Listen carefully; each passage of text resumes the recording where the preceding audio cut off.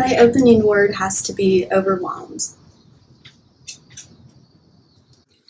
My opening word today is disillusioned.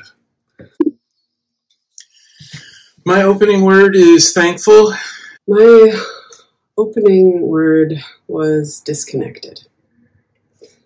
My opening word today was scattered.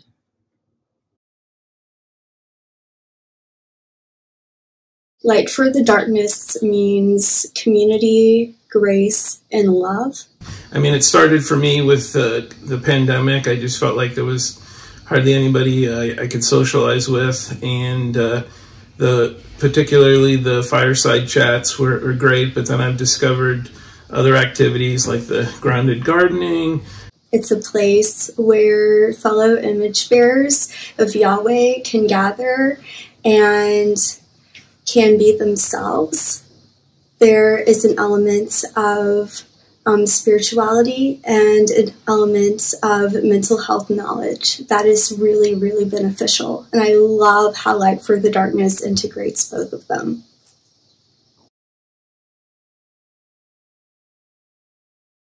It's it's a place that's compassionate, and um, at the at the end of the day, when there's a lot going on, it can really help bring a sense of peace and just grace to show up and just show up and be who you really are without any kind of um, pretense or like perfection or image. And you can just be a person and be accepted.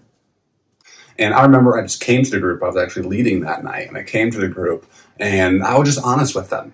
I was just honest that I just felt really down. I felt like I didn't have a lot to give. And I remember them being so supportive. They welcomed me as one of them. They didn't look at me as other because I was the facilitator for the evening, but rather they welcomed me truly as a part of the community. I'm still accepted.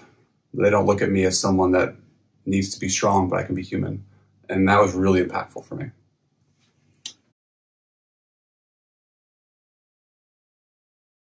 Grounded Gardening is our newest event. Twice a month, we invite people to meet God through God's creation. And uh, we access um, God through the earth, through plants, through flowers, and we connect with each other and God together in the garden. And it is beautiful and fresh and uplifting. Francis brings comfort and joy to members of Light for the Darkness. It is such a privilege and blessing to be able to bring hope and connection to people in their deep darkness.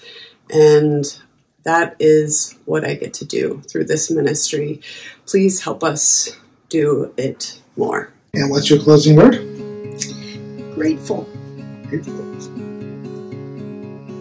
My closing word is hopeful.